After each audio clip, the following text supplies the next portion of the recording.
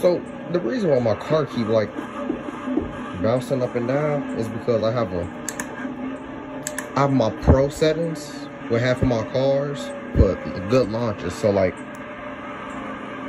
and like good acceleration. So like if somebody ever try to like, you know, I'm at a red light on the game. Somebody pull up to me, red, I mean green light, we go third, beep, whatever.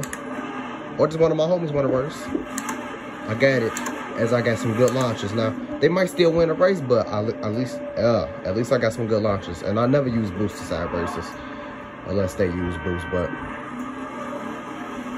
yeah.